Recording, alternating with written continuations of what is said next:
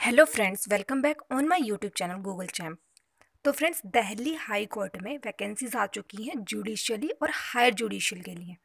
तो बात करते हैं आज उन्हीं के बारे में। इंपॉर्टेंट डेट्स हैं। जुडिशियल सर्विसेज़ के लिए स्टार्टिंग डेट है अट्ठाईस फरवरी और लास्ट डेट है बीस मार्च। अब आते हैं हायर जुडिशियल सर्विसेज़ के लिए। स्टार्टिंग डेट है पच्चीस फरवरी और लास्ट डेट है बारह मार्च दो हज़ार बाईस। नेक्स्ट बात करते हैं एज लिमिट की।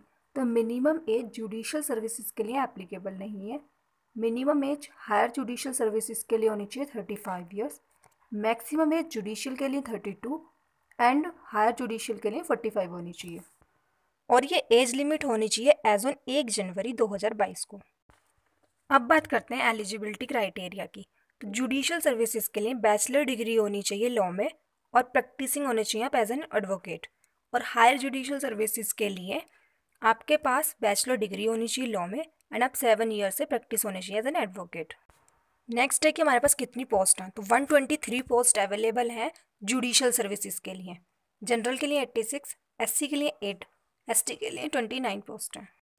नेक्स्ट है हायर जुडिशल सर्विसेज़ के लिए अवेलेबल है 45 पोस्ट जनरल के लिए हैं 32 एससी के लिए 7 एसटी के लिए 6 नेक्स्ट आता है फ़ीस स्ट्रक्चर तो जो जनरल वाले हैं, उनके लिए है वन थाउज़ेंड और जो एस सी एस टी और पी एच वाले हैं, उनके लिए है टू हंड्रेड ये जुडिशियल और हायर जुडिशियल सर्विसेज़ के लिए सेम है।